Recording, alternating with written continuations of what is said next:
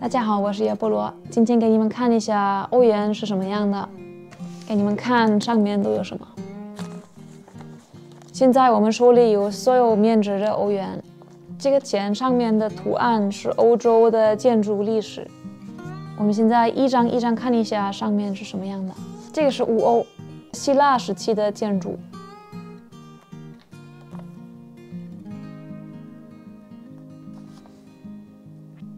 十欧，古罗马时期的建筑。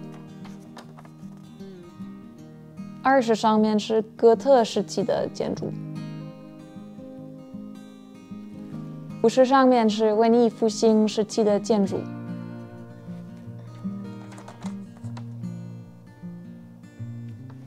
一百欧，巴洛克建筑。面值越大的钱，面积越大。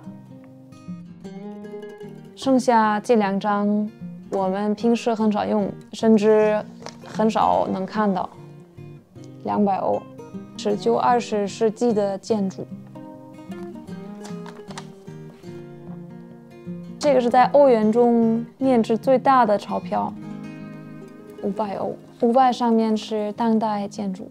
我几乎没怎么见过这张钱，在超市如果想用的话，会把它们吓一跳，他们不会收。这个钱现在还可以用，但是银行已经不发行了。欧元的背面都是桥，它们也是按照历史时期划分的。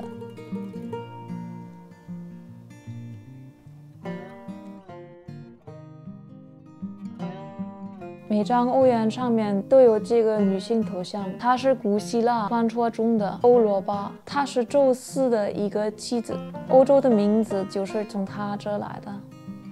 欧元有两百多种范围设计，但是在欧洲还要小心，偶尔还是会遇到假钞。最常见的假钞是二十欧。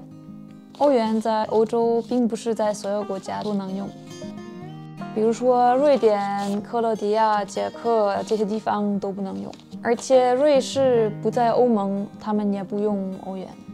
欧元硬币分两欧、一欧、五十分、二十分、十分、五分、两分、一分。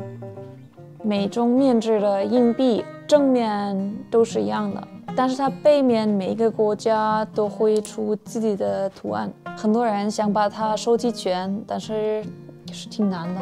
这两个图案都是德国的两欧硬币。德国的硬币是最无聊的。要么是这个鸟，要么是这个门。这个你们肯定知道是哪个国家？是意大利的，上面有达芬奇画的那个小人儿。这个是欧元最小的面值，一分钱。虽然它很小，但是在超市经常会用到。最后一张也是最神奇的一张，是这个零。那它什么都买不了。而且你买它也要花两欧元。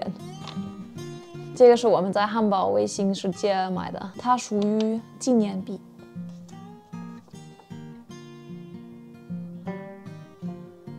好，这个就是我们今天的视频，希望大家会喜欢，请点赞、关注、转发，祝大家多赚钱，欧元、人民币是钱就可以了。拜拜。